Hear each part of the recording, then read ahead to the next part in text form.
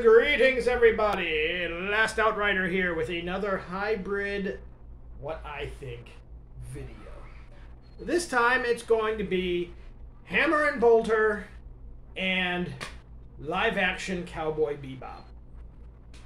Because these two ideas are related in my reality. Hammer and Bolter has come under a lot of criticism. In my last video, I said it didn't really bother me too much. I watched it, and for me, it's fine.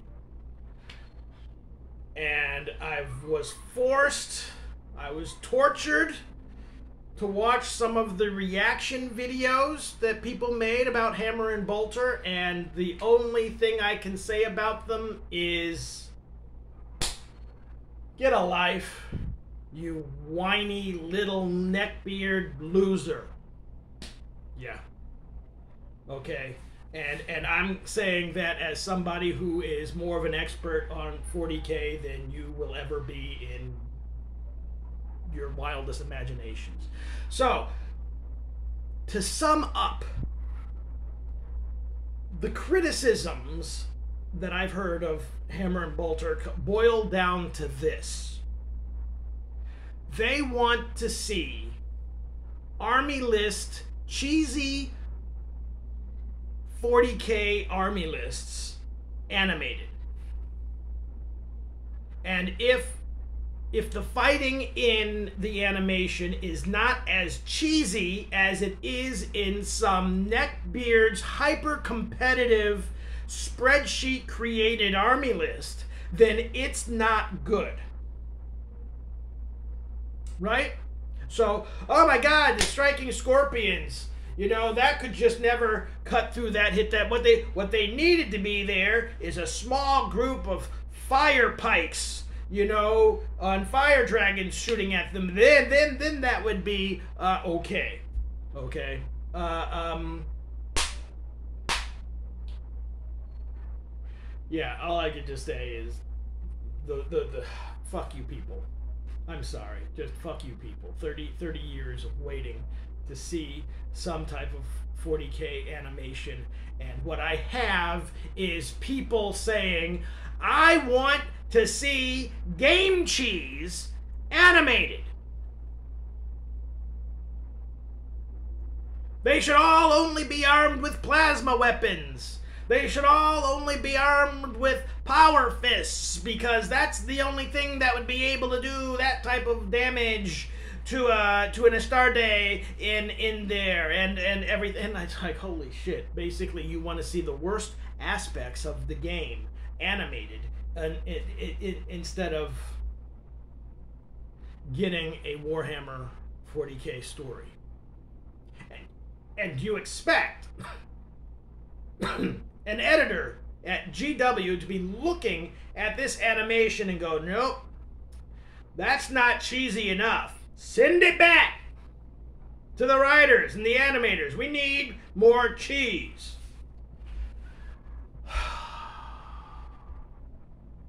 I'm sad. I'm sad for you people. I just feel sad for you people. Cheese is not a virtue in Warhammer 40k. It's it's a scourge. It's a vice. It's a disadvantage. It's people that put number crunching over narrative. Number crunching over trying to play a fun game. And I hate those people. So seeing at the outrage that these people are not represented in the animation, I laugh at you. I laugh at you. And I revel in your torment. I'm sorry. Okay, that was the chaos part of me. All right. Now, to go to the flip side of this Cowboy Bebop. The criticisms of this have merit. Cowboy Bebop was obviously made by people written by people who don't know what anime is. And the criticism of people who make live action anime is that they treat it like a joke instead of the a a formatted highly formatted art form. So i understand cowboy bebop was a was grim dark more grim dark than 40k is today to be honest with you. One of the the appeals of cowboy bebop was the desperation of their situation. The times that they would be in their ships going days without food. Um, and literally starving trying to uh, uh, waiting to to, to wait, make the the money from from bounties. I didn't get any sense of that in season one which means that the people making this didn't get any sense of that from the animation. They just they just saw it as a comic. They didn't feel that. And part of this is going to be because they're probably not Japanese and they don't understand Japanese culture and they don't understand that the characters in Cowboy Bebop approached those types of trials and situations the way Japanese culture would approach it. And they wanted to, and they, therefore, they didn't really understand the desperation of their situation. And therefore, they didn't put it into the storylines. And that's sad. But it's also a learning process. So they basically approached it the way Zack Snyder approached Watchmen, right? Take the story panels and bring them to life but Zack Snyder also worked very hard on bringing the the story itself to life, and that wasn't done there. There, it just, but they acknowledged this to their credit. They acknowledged this, and they said season two is going to treat this as a serious story. These are going to be treated as though it were, you know, a CSI episode instead of a comic book, a kind of tongue in cheek, you know, sarcastic kind of comedy when none of that is implied in Cowboy Bebop, the, the, the, the animation, the anime. Um, this now this is going to be for some of the hardcore anime people out there. Blood the Last Vampire uh, is a, is an example of how strict the rules in animation are. The characters, in many ways, are treated, if you want a Western analogy, it's like um, the highly formulaic, formulaic ancient Greek theater. Ancient Greek theater had basically set archetypal characters, which you can't play with. Their personalities, their actions, what they do, how they respond are all set in stone. The only thing you can change around is the scene, the situations that they're in. So you're taking set characters, fixed characters, and putting them in different situations just to see how they would react. This is very similar to anime. They are set, fixed personality types and characters and backgrounds uh, for these types of characters, and all you can do is select the different types of characters and place them in different novel situations to see how would this personality type respond in this interesting and strange and different situation. This was not respected at all in Cowboy Bebop the live action. It was not respected in Ghost in the Shell. If you want an example of this, watch Alice in Borderland. which was made by Japanese people who know what anime were, and they took the characters and they put those personalities into live action actors who also understood that and acted them out. And sometimes it seems a little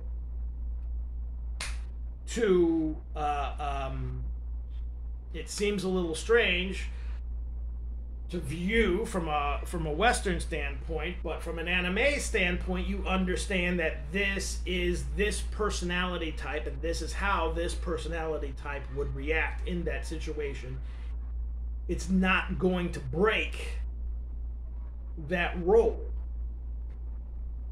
the one example where you had an a, an anime writer and director break this was Blood the Last Vampire, and his animation studio was almost shut down in Japan.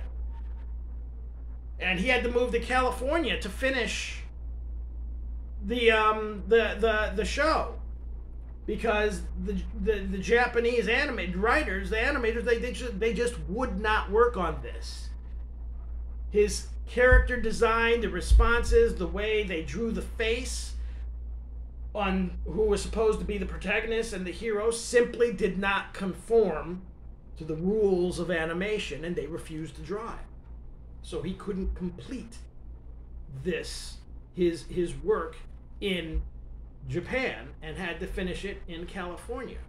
I remember the controversy around that, but if anybody watched that anime, they would say, What's the big deal about this? Well, they put the wrinkles in her forehead when she was fighting. That form of drawing can only be placed on a bad guy because that's the rule of animation. You can't put that on her. Why? Because that's the rule of anime. I understand these rules, and I hope next season the writers and directors will gain an appreciation and a respect for anime if they want to bring this to the screen and have the characters fit their role. Respect that this isn't supposed to be some lighthearted comedy. It's not just it's not a joke. Cowboy Bebop is not a joke. It's it's not a Deadpool. And if they want to get past season two, they had best understand that. Otherwise, I will join the critics. So you get one season of making mistakes, uh, cultural, you know, uh, appropriation, and after that, you either fix it or just stop. So that's why I looked at these two things, Hammer and Bolter and Cowboy Bebop, to be on the two opposite sides. Okay? Hammer and Bolter captured what 40K is supposed to be.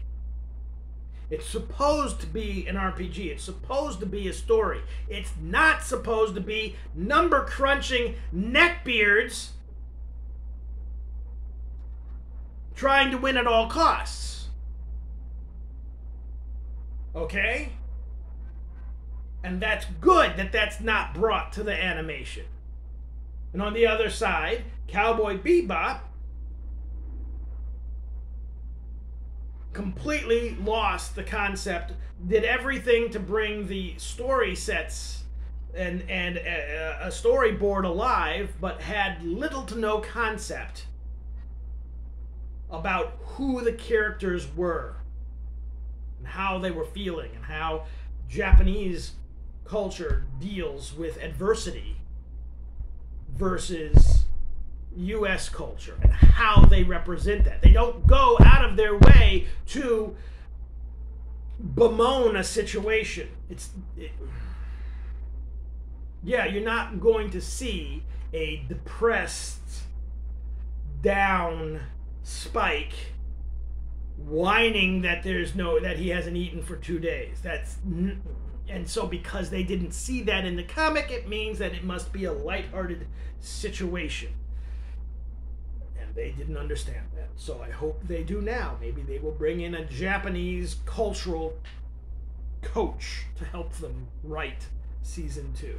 So that is my feedback on these two things and how they're connected, and I hope you enjoy. Until next time, bye.